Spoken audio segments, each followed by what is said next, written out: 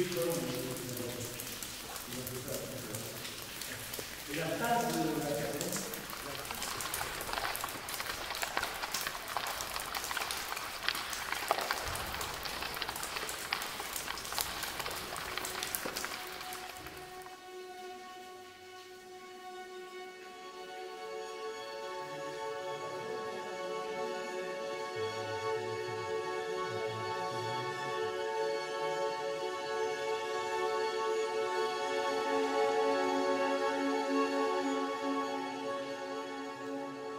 La grotte de la Cocalière est située sur la commune de Coury, entre Alès et Aubenas en Ardèche.